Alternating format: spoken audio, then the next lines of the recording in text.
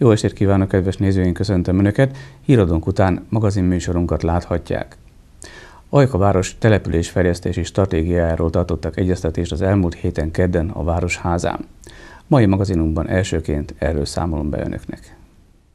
Legperspektívikusabb és legzöldebb városa lehet, és ez azért fontos, mert ugye sikerült egy válságon túljutva valamilyen szinten megkapaszkodni, Ajkaváros önkormányzata 2007-ben alkotta meg az első integrált településfejlesztési stratégiáját, és az elmúlt 8 év változásai, illetve az új 2014-2020 közötti Európai Uniós fejlesztési ciklushoz adaptálva most zajlik az integrált településfejlesztési stratégia felülvizsgálata.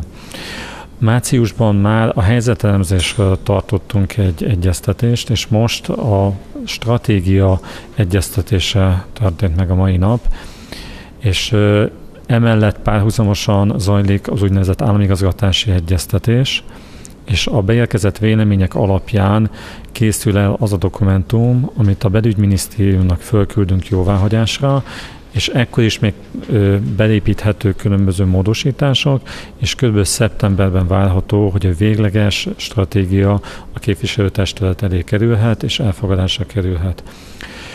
A mai egyeztetés keretében a város gazdasági társaságait, intézményeit, civil szervezeteit hívtuk meg, illetve gyakorlatilag az anyag a város honlapján minden egyes ajkai lakos számára elérhető és a gazdasági társaságoktól, szervezett civil szervezetektől, illetve intézményektől most visszajelzést vártunk arra vonatkozólag, hogy az az irány, amit a stratégiában elképzeltünk, az mennyire állja meg a helyét, mit kell változtatni, melyik területet hangsúlyozzuk ki jobban, illetve hogyan tudjuk esetleg a jövőben ezeket megvalósítani. Milyen területeket céloz meg ez a stratégia?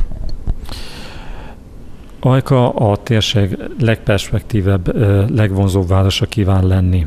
Ennek érdekében három fő célt tűz ki, így az iparváros jövője, fejlődésképes ipar és gazdasági szerkezet megerősítése, a város jövője szempontjából az épített és természeti környezet megóvása, fenntartható fejlesztése, harmadik pedig az emberek jövője, az egyén és a közösség boldogulásának és sikerességének segítése.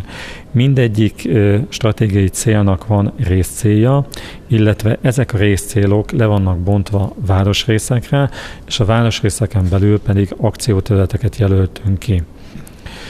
Az akcióterületeken már konkrét fejlesztési javaslatokat is megfogalmaztunk, és a cél az, hogy az Európai Uniós pályázatok révén ezekre forrást is szerezzünk.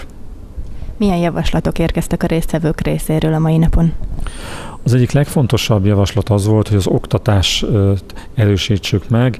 A gazdasági társaságoknak szüksége van munkaerőre, képzett munkaerőre, az intézmények pedig egy átalakulás előtt állnak, és az a cél, hogy a kettőt össze tudjuk hangolni, és olyan oktatási hálózat legyen, ami segíti a város továbblépését, a gazdasági társaságok erősítését, és az a lényeg, hogy a város ö, fejlődni tudjon, hogy a népesség ne csökkenje, hanem emelkedjen, a helyi fiatalok itt maradjanak, sőt, ha lehet, akkor további ö, lakosokat tudjon a város kapni.